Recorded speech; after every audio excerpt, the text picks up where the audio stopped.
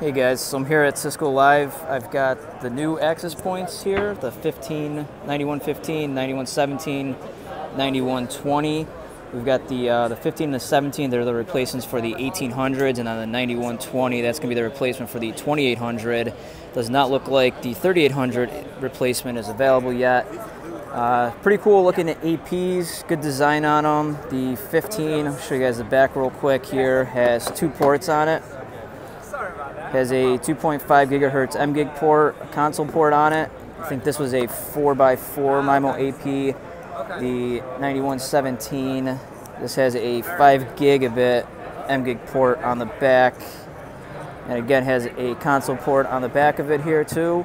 Uh, these things are a lot lighter than the uh, the old generation AP, so I think that's that's kind of cool here. And then the 9120 this is a 4x4 MIMO, but this one actually has all the uh, the good Cisco ASICs in it and everything, the RF fingerprinting, all the advanced capabilities.